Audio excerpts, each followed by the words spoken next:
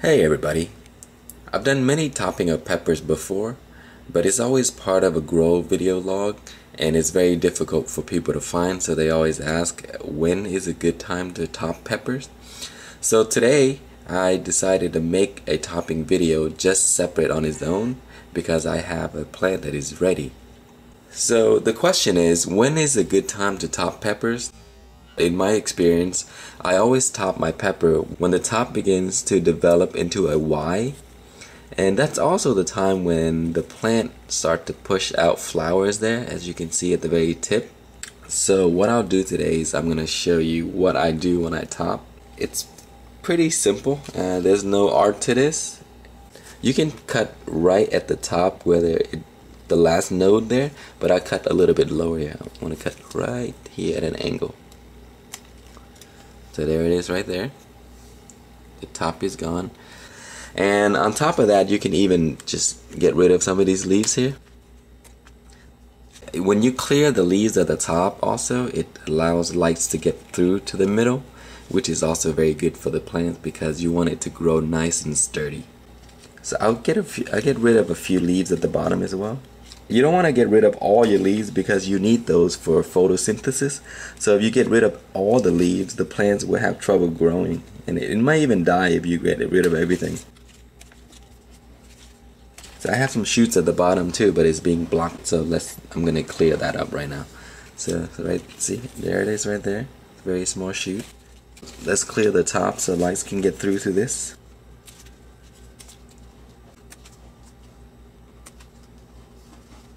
Now this looked a little bit crazy, like you pretty much cut almost the entire plant off. But don't worry about it. It uh, in a week or two it'll start to grow back, and I'll keep this log going so you can see it. Alright, it has been exactly one week since we topped the plant. The side shoots are growing back very nicely, and so the plant is looking really good. And the bottom shoot here is also grown really well. So what I'm gonna do today is I'm gonna get rid of all of these larger leaves so that it will promote the size to grow even more. Here's my scissor, make sure it's nice and clean. Then we'll just go ahead and trim all the leaves off.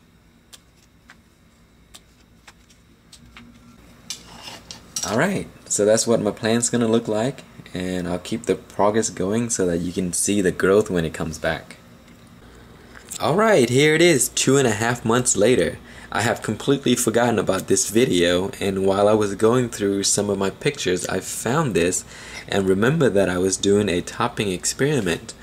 And I left it at about six and a half inches tall or so and I kept trimming and trimming and I forgot to do the update. And now the plant has just started to bloom and there's some flowers everywhere.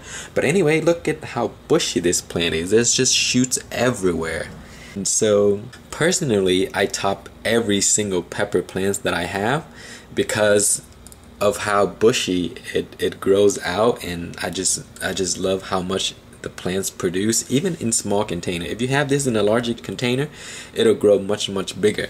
But anyway as you can see look how bushy and beautiful this pepper plant is. It's, is all because of the aggressive trimming and topping that I've done and let me show you some other examples of plants that I top. Here's one that I topped about a week ago. And it has started to shoot back just like I showed you earlier in the video. First it started to grow these side shoots here. Then the side shoot would get larger and larger and those become branches. And then those branches would have shoots of their own. So if you keep trimming, it will keep growing. As long as you have nutrients readily available for this plant. Look at the size of this leaf. So those will be taken off very soon and that would promote this to grow even more. So that's one of the one that I top. Here's another one that I top. As you can see, uh, because I clear this plant, it's very easy to see where I topped it. There it is right there initially. I cut it there and then two branches grow and then I top it here and a bunch more plants grow and then I cut it right there and then a bunch of other side shoots started to grow.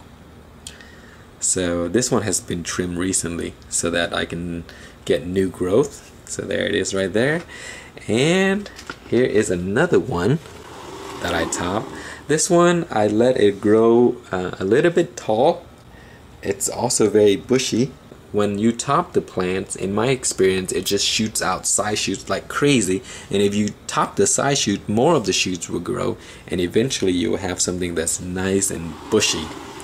And remember, you always have to have uh, nutrients and lights and all the necessity the plants need in order for it to grow like this. If you don't, then it will probably not be full as it looks right here. But anyway, that's the reason why I top all my plants. I hope you guys like the video. And if you have any questions or comments, or if you have suggestion, be sure to comment below. And thank you for watching.